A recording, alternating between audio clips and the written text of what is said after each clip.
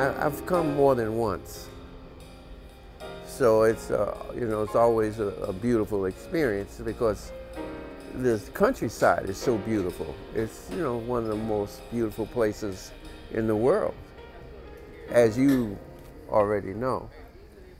And it's, it's just always a nice place to come back to.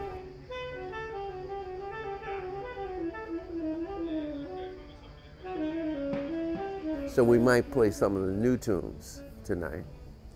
But meanwhile, uh, we'll, we'll play some of the old tunes, the older tunes. Although, uh, you know, these guys in the, in the, in the ensemble uh, are, are all great composers. So, and they have records of their own, uh, under their own names.